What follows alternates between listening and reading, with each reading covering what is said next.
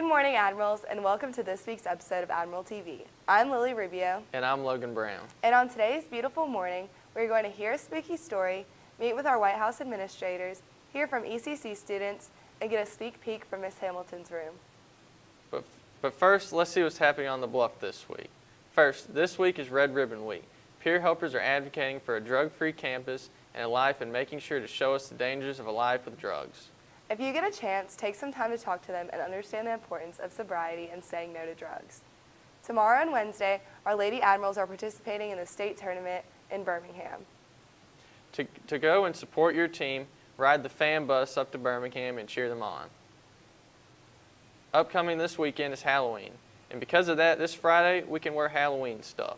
Make sure to come here and show off your cool costumes. Also on Friday, the varsity football team is playing Alberta at their field. Make sure you go out and support your classmates on the field. Good luck, football team. And that's all that's happening on the bluff this week. For this spooky season, Adrian will be interviewing a kindergarten class about their Halloween plans.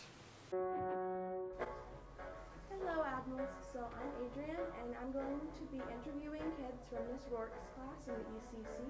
They're in kindergarten, and they will be talking about Halloween. What do you want to be for Halloween this year, Abby? Jojo Siwa, a vampire.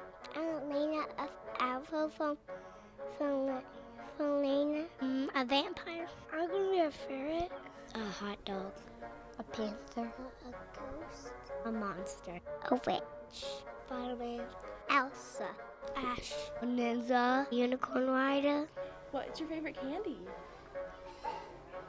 chocolate, a chocolate, chocolate, chocolate, um, chocolate, suckers, Kit Kat, candy corns, Skittles, M&M's, Hershey's, Twix.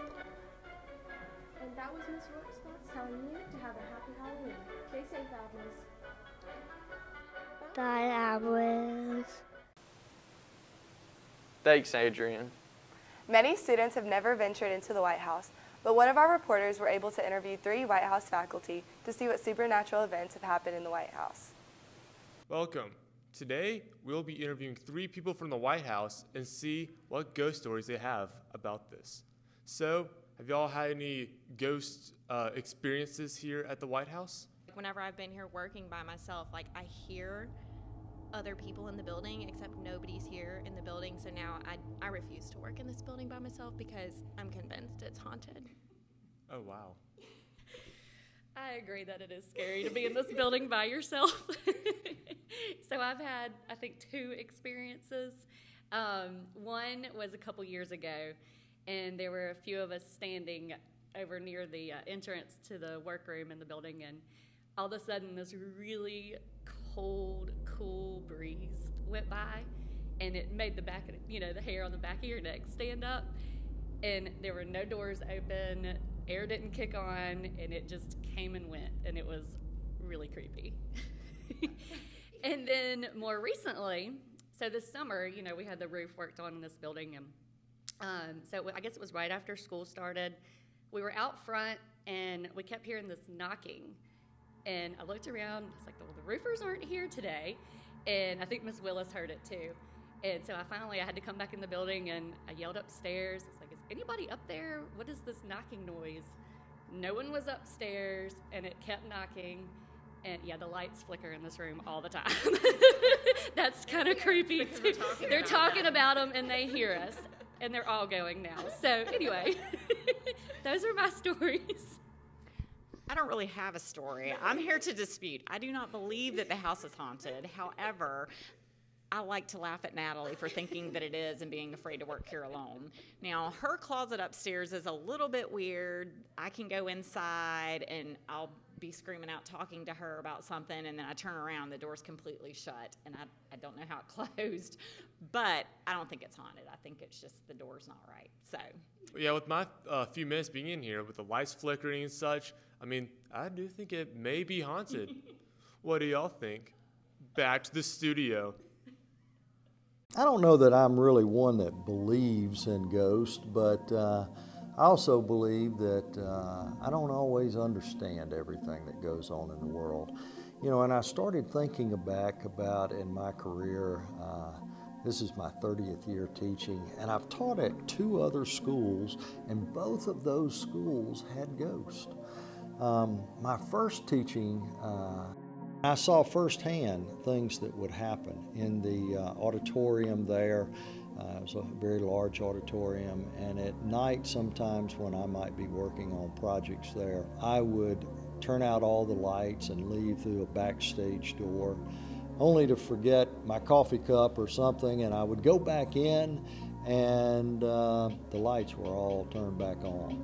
So I come to Bayside, and I don't find any ghosts, and that really, you know, kind of was was a different thing for me. So I started looking at the history of, of Bayside and realizing that uh, Bayside was, you know, obviously not always a school, but uh, Captain William Howard actually built what's now the White House here. And so uh, he decided this would be a great place for a resort. This was called Howard's Hotel. And um, after Mr. Howard becomes older, uh, and everything. Uh, you know, the Civil War breaks out, and actually, what's now the White House was actually uh, bombed during the northern blockade of, of Mobile Bay. It also, uh, after the Civil War, became the site, since there was no courthouse in this region, it became the site of, um, of the courthouse. And the oak tree that we still have here today, with its low hanging limbs, uh, oftentimes the, the court was held outside, and it was said that people would climb up in the oaks and sit in the oaks to watch the different uh, court trials that would happen. And the oak tree became known as the jury oak because of the people sitting in the oak tree. And you know, if you get here really early in the morning sometimes, or if you're here late at night, uh, there's always a nice little breeze blowing, and you've got that Spanish moss hanging in those trees. So, what secrets is that jury oak holding? Ooh, that, that's scary. Right, that's scary right there. Finally, Logan traveled to the Bayside Gym where the volleyball team was having senior night. Hi, I'm Logan Brown, and behind me, one of the best teams in the state of Alabama playing our very own Bayside Admirals. Your game, and they're playing Spanish. Trash. So it is bound to be a really good game. They've already played two times this year, and the first time they played, Bayside came all the way back and whooped them. In the second game, we lost. So yeah, let's go. Let's go, Ben! Let's go!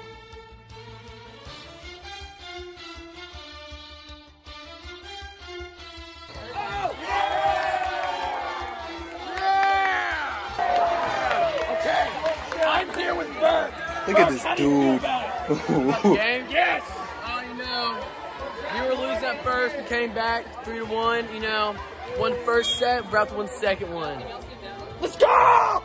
Yeah!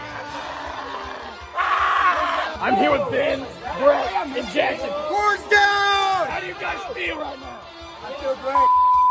Fantastic! Goodbye. Gotta knock that crap out.